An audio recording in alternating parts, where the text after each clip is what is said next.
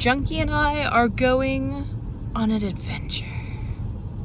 Because I am starting my Ash Ventures. And of course, I am dragging Junkie along. Uh-oh. Uh-oh.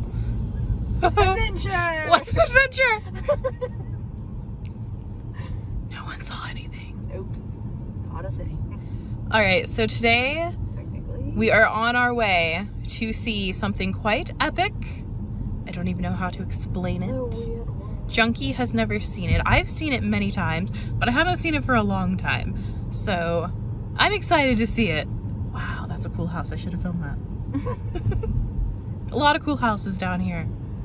A lot of old, giant, witchy manors.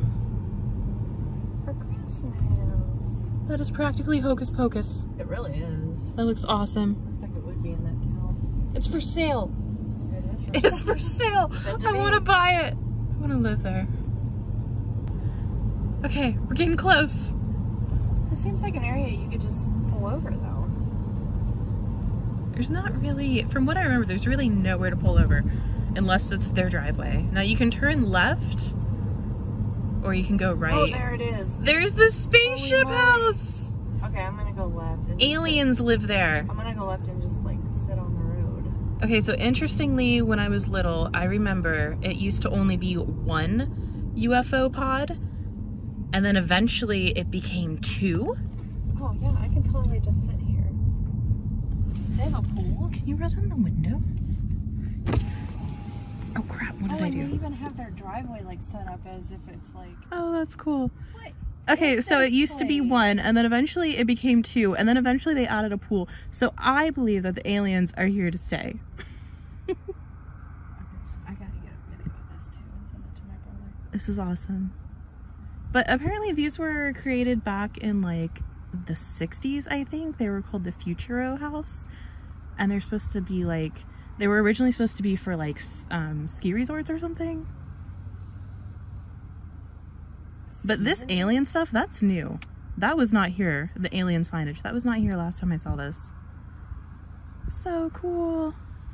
Okay, I have to pause the video for a second right here because upon further inspection while editing this video, I have just noticed that this little sign right here says, No aliens here, which to me sounds exactly like what some aliens would want you to think.